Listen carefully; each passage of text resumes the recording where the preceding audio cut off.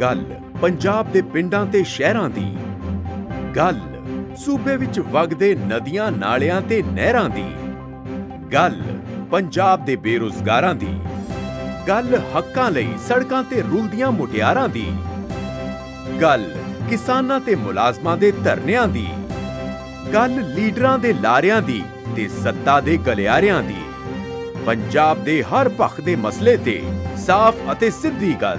ਹੁਣ ਹੋਵੇਗਾ ਲੋਕਾਂ ਦੀਆਂ ਮੁਸ਼ਕਿਲਾਂ ਦਾ ਹੱਲ। ਜਲਦ ਆ ਰਿਹਾ ਹੈ YouTube ਤੇ ਆਪਣਾ ਫਰੈਂਡਸ ਚੈਨਲ ਗੱਲ ਦੇਸ਼ ਤੇ ਦੁਨੀਆ ਦੇ ਹਰ ਮੁੱਦੇ ਦੀ।